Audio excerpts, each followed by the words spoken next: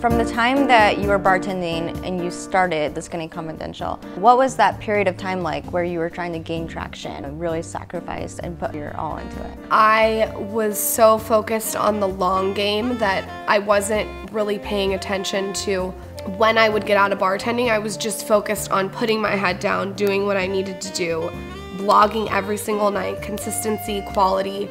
I really didn't lead with fear. I, I didn't question myself. I just like took the leap. And that period was when I was bartending and still blogging and I didn't kind of know. You feel it. Mm-hmm. It's a feeling where you're like, okay, it's time for me to like transfer full time. And when I transferred full time to blogging, I never looked back. I mean, you always find a way. Like once you kind of let go of all those things, you find a way to make everything happen. If you want to do something, you fucking figure out a way to do it. I don't care what it is. I am a huge believer in figuring it out. So yeah, have you always had that entrepreneur spirit about you? Like even before you started? I think the entrepreneur spirit came when the Skinny Confidential idea came. Okay. And then I was then I tapped into this and it was so stimulating that I was like, whoa, it almost blew me away. I've always been the type of person to beat to the tune of my own drum ever since I was like very young. That's awesome. And that's kind of how my career's been is I've just like I've winged it. And when you say, when did I know I was an entrepreneur? When I started to kind of tap into that.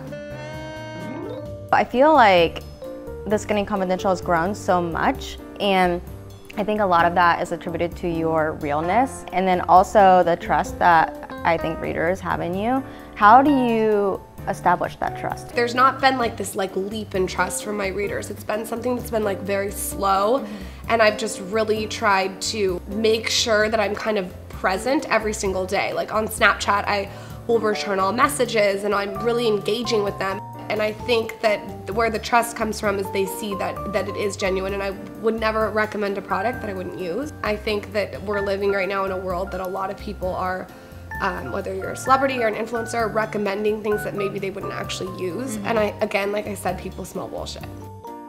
What's a major lesson that you've learned along the way as you've been running your own business? You have to get your business under control.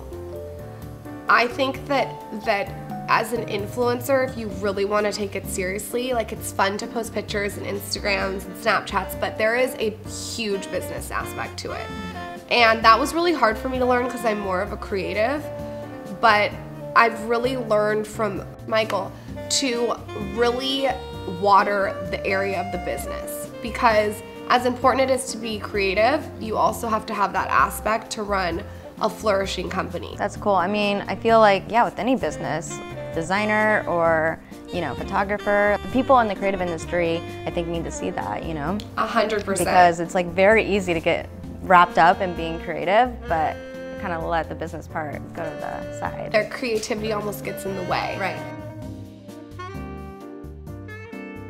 I wanted to talk to you about a few of your favorite pieces, but first kind of tell me what your style is, your personal style. My personal style is a very classic, traditional, almost plain with a twist. I like very like simple, simple, but then something with a little flair. Okay, so tell me a little bit about this piece. So you wore this to your bachelorette party. Uh, yes, I wore this to my bachelorette party. I wore it with a huge white trouser. The sleeve is so intense. I know, I'm all about this sleeve. Yeah, I love this. I love the sleeve. Um, and it was by Grace Lovelace. And this was probably the most bridal moment I had was at my bachelorette party. Oh, wow. So Michael, my husband, is very into leathers. He has like 20 different leathers and I didn't have one. So he got this for me as a gift and it's just like the perfect like yummy leather jacket. It fits so well. It looks like it does. I feel like there's so many ways you can wear this. Like, yeah. The options are limitless and it's been all over the world with me. Okay, so this looks like it has a really good story.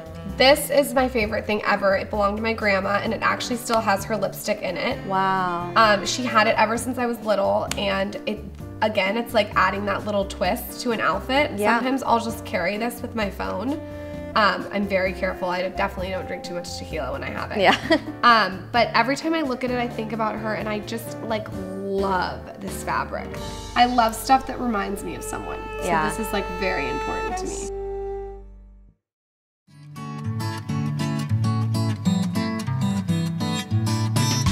So we're gonna put a little bit of the spotlight on Michael for a Yes. second. Oh, he'll love that. He was here, he would be like smile, be grinning from ear to ear. Yeah. He just seems 100% supportive of you and like everything you're doing. What is it like working with him? Michael is very different from me. We are very much opposite, but we have the same sense of humor. I would say the best tip with relationship and working with someone is recovery. Like you have to be able to recover from a fight quickly. Like if, if we don't agree on something, like the next minute we're asking like what we want for dinner. And let me tell you, it is a dance that we've had to learn. Like there have been many fights, many blowouts. It's something that you learn how to do. It's like it's like walking or riding a bike. Like you learn how to work together. It's not something that comes naturally, at least for us. Yeah, so you guys work on the podcast together too. What kind of made you think you wanted to start a podcast and how has your audience responded to it? We were in Cabo and we were drunk, and he was like, let's start a podcast.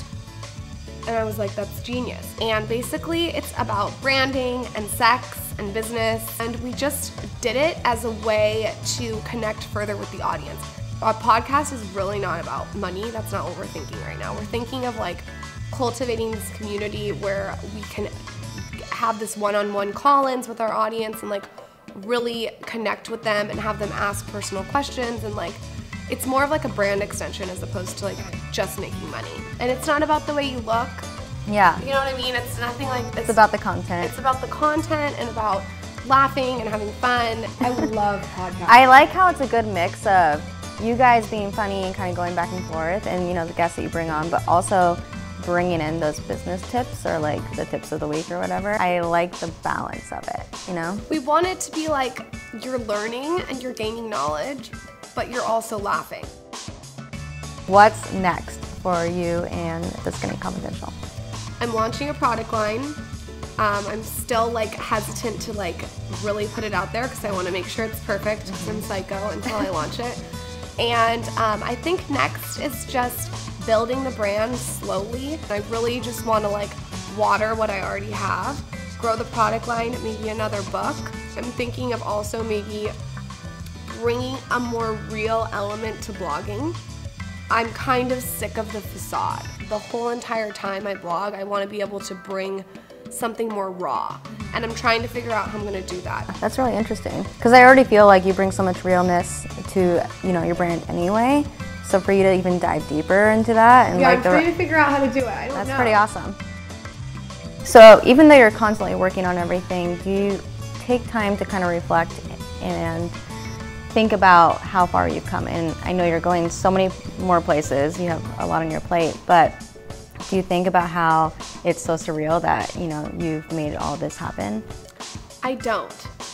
And this answer probably isn't like a textbook answer. I I knew where I was going because what I've done is I've created a strategic future by design. When you create a strategic future and you lay out the way your life is mapped out, you're designing your life. Now, obviously, things happen that, that throw you off the horse, but you get back on. So, everything that has happened to me is because I have made it happen. So to, to sit like there and be like, oh, I reflect on like I used to be a bartender and and now I'm a full-time blogger.